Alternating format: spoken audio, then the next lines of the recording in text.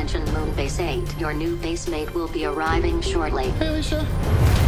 There's some sparks flying. I'm not sure what I'm supposed to do. Lighting's very important. Put on some music, nothing with lyrics. Hey, you want to just make her feel safe? Would you say that the isolation has had an effect on your mood? Look at you. You're pathetic. That's not true. We're very proud of you. Man to man, you're an idiot.